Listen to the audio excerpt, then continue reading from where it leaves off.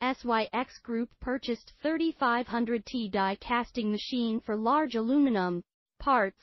The machine is the next generation 3 platen die casting platform, closed loop control, modular design and industry 4.0 capability.